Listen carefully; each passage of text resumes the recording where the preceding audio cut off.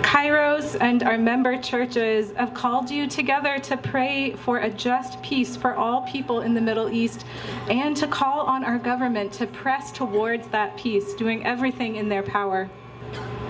Kairos and its member churches and agencies have long-standing partnerships with civil society organizations and churches in Israel and Palestine.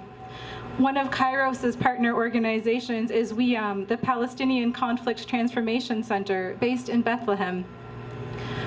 Our friends at WIAM write, to effectively work towards a ceasefire and an end to occupation is to expand our table and enrich our lives.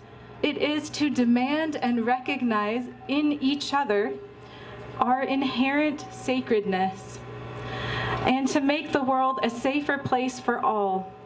It is to reflect a greater image of God than the greatest of which our divisions could ever hold. A greater, more just, and complete image of life accessible to all. That is what brings us here today, a belief in the sacredness of life and that all people deserve to live in dignity and safety.